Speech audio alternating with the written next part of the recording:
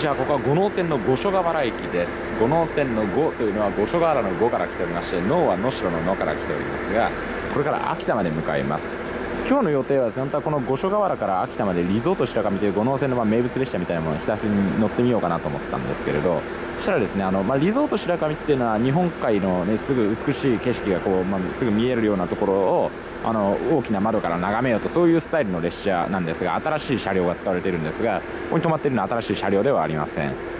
それよりもねめったに乗れないような珍しいものがちょうどたまたま五能線で今日運行されるということを私は知ったのでぜひそれに乗ってみたいなと思いまして予定を少し変更したのでしたこの列車の名前は冬のご褒美ストーブ号と言います。いつも走っているような列車ではなく1年に今回だけといいますか、まあ、1年とかいうあの話じゃなくてですね、まあ、一応企画としては今回一度通して今回の1回限りの運行ということになっています、まあ、今後も似たような列車あるかもしれませんけれども、えー、臨時列車冬のご褒美ストーブ号秋田行きです。3時間29分の乗車になります。ここに止まっている、まあ、首都圏色とかたらこ色とか言うんですがオレンジ色をしたこの車両はキハ40と言いまして五能線でずっと使われている車両です。寒いところにも対応した500番台というものでえー、まあ、特色としてはですねここにドアがあるんですがドアと客室の間にデッキがあってそれが仕切られていて客室の中に冷気が入ってこないようになっています。これは普段五能線で走っているような車両なんですが本日はこれに2両の増結車両がついています。というかまあこの列車自体別にいつも走っている列車ではないんですけれど今日のために特別に仕立てられ運行されている列車ですがあちら側 JR 東日本仙台支社が誇るビューコースター風っ子という車両です。トロッコ列車窓を取り外してオープンな形にしてそれで外の風を感じながら走る。そういうトロッコ車両 JR 東日本が持っている車両では唯一のものだったと思います。他にトロッコ車両みたいなのって東日本はなかったですよね。北海道にヌロッコそれから JR 西日本でも、えー、奥出雲おろし四国でもアンパンマントロッコとかやってますけどね。これ言うと頭おかしくなったのがこんな雪が降ってるね。青森県、まあ、ここは青森県の五所川原なわけですが青森の12月の22日にですよトロッコ列車窓の外の風を感じてしかも夜のこの時間に頭おかしいんじゃないかと思う方が多いと思うんですがあのご心配なくというわけでこの列車には冬の装いバージョンもありまして今回は外の風を感じるような列車ではありません。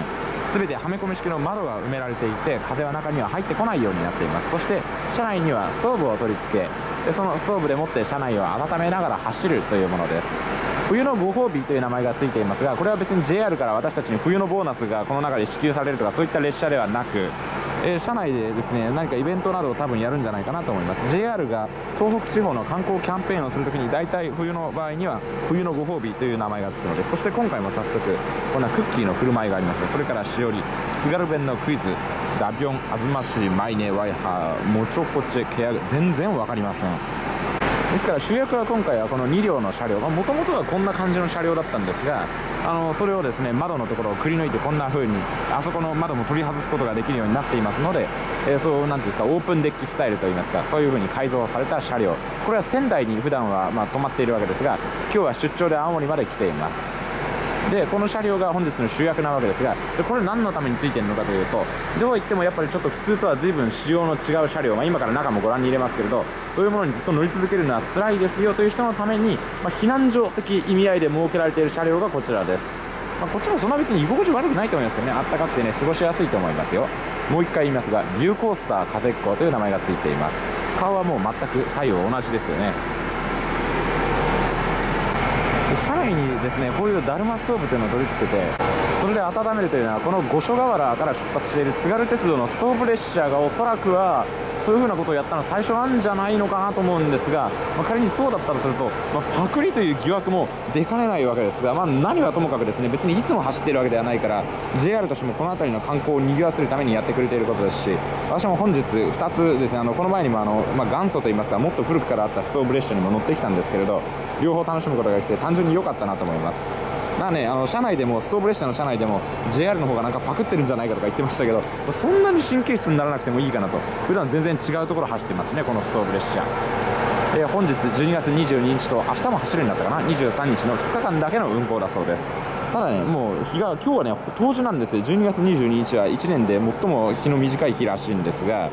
えー、そのね、もうこれ列車が出るときには日が落ちてしまうので五能線のその美しい車窓もほぼ見られなさそうですが逆にそれはそれで暗い車内で、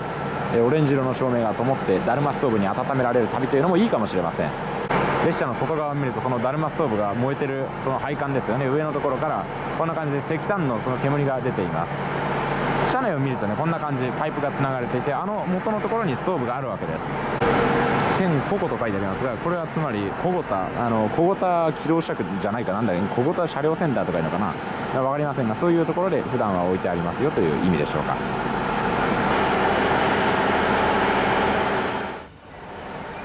ビューコースター風っ子号の座席はこのような形をしています木のベンチが両側に並んでいます上も何やらバーベキューカーといいますかちょっと特殊なねあのバーベキュー店みたいな内装じゃないですか？座布団が木の椅子の上には敷いてありました。ビューコースター風っ子って多分私高校1年の時に乗ったっきりじゃないかな。久々に乗ります。JR に1つしかない特別車両です。ちなみにこれ足元を見ていただくと分かったと思いますがそれほど広い座席ではありません。大人が4人で乗るとかなり窮屈になります。寄ってしまいましたが私が新青森で買ってきたお弁当もようやくここで食べることができるようになりました。五所川原駅の皆さんがこのようにお見送りありがとうございます。ご乗車ありがとうございます。この列車は臨時列車上野ご褒美東部号秋田行きですところで走り始めたところであらまずいぞちょっと大変な勘違いをしておりました。この五所川原から私は五能線を回って東能代そしてそこから大宇線に入って秋田へ行くものだと思ってたんですが実際にはこの列車は違いました。五所川原から逆方向に動いてこの先川辺弘前そして大館を経由して東能代から秋田へ向かうそうです。あそっちルートだったのかと思私は乗車券を逆向きに買ってしまっていましたので車内で生産の申し出などをすることになりました。まあ、ともかくいろいろことは円滑に運んだので良かったですがちょっとこれは困ったことでした。いや私もまだまだだなと途中停車駅の確認などしっかりしていればよかったんですがだって今のシーンでちょっと映っておりましたが私がスルメをかじっているの見えたと思いますけどストーブ号ではねスルメの配布もしていたんですね。さっきも私買ったんですけど。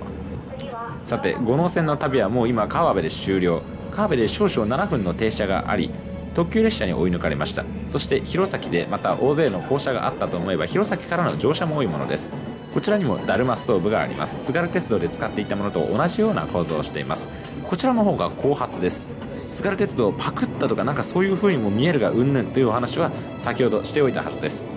ところでこの車両あのようなトロッコ仕様の車両だけではなくて一般のキハ40型五能線で活躍をしている車両も連結をされています。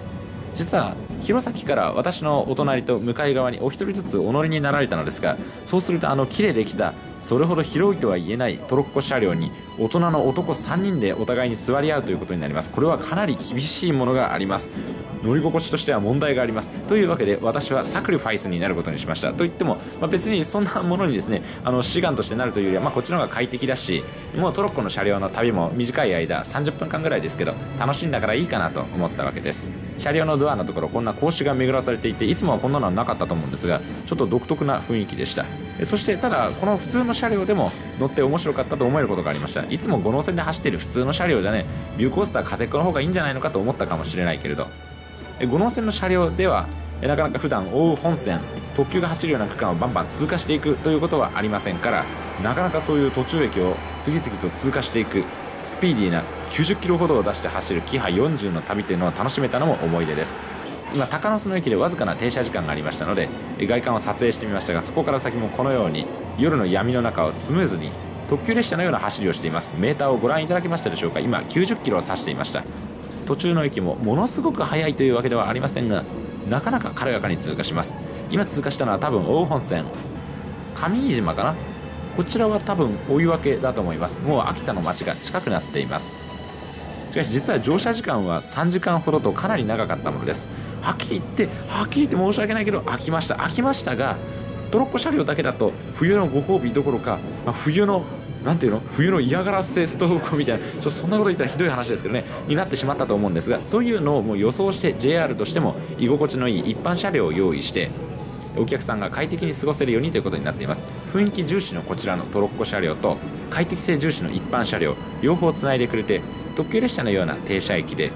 割とストレスがたまることもなくスムーズに秋田まで運んでくれるなんだかんだいい思いをしたと思ったものです。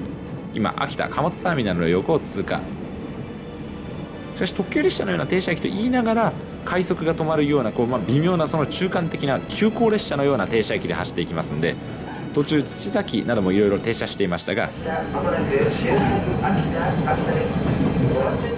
最後このように落ち着いた車内放送をしていただき秋田駅に到着をしました。いい企画ではありましたよ。ただ全部トロッコだと飽きる。しかしその対策もちゃんとなされている。つまりどこにも問題のない素晴らしい企画だったというわけです。秋田支社の皆さんありがとうございました。そして皆さんご視聴ありがとうございました。